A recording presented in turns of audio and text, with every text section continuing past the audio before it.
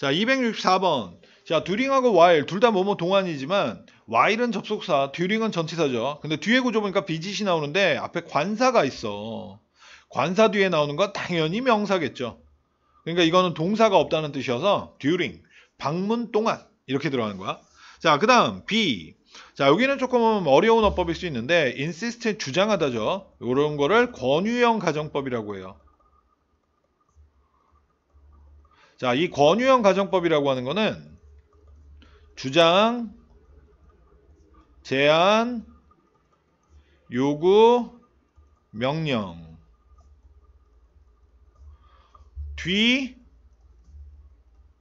대절에서 슈드 생략 동사 원형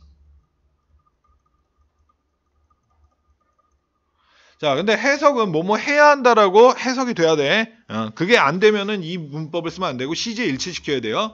자 나는 주장했습니다. 그들이 돈을 간직해야 한다고. 쓰지 말고. 어. 그래서 답은 킵이 됩니다. 자, 그 다음 forgot. forgot도 ing냐 투부정사냐에 따라서 의미가 달라지는데 ing는 뭐뭐 했던 것을. 해야 할 것을